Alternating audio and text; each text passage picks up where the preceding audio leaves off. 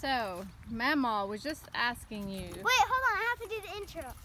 Hi guys, it's Makenna here. Welcome back to my channel. Before we get started, click that subscribe button, try and give me a huge thumbs up.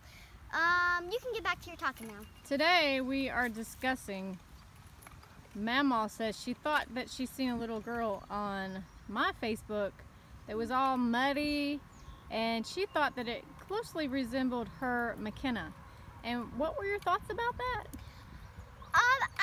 I'm too glorious to get all like muddy and stuff, so I don't think it was me.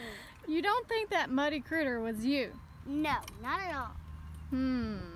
Why do you keep turning your head? Hmm. Why do you keep turning away? Why don't you look at For us? some reason, I keep on thinking I'm being watched. I think you need to look at me.